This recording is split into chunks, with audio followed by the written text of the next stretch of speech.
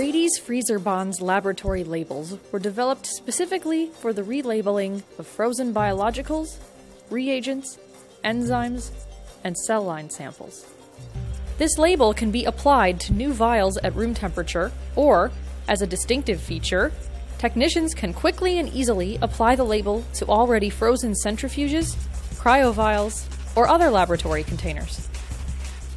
The printed label has exceptional chemical resistance and can withstand exposure to extreme environments. To apply a label to either an unfrozen or frozen surface, take the lead edge of the label and place it on the tube.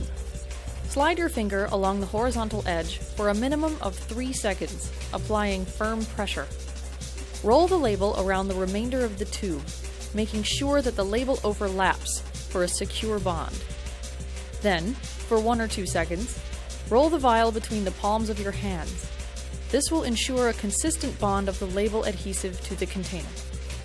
Then simply place the tube in the freezer or the tank. There is a high degree of opacity, so if you are covering up an identifier already in place, no print will show through, so that labs will meet HIPAA requirements. Another advantage is that FreezerBondz is a low profile label meaning it is extremely thin, so it will slide easily in and out of racks without damaging the label.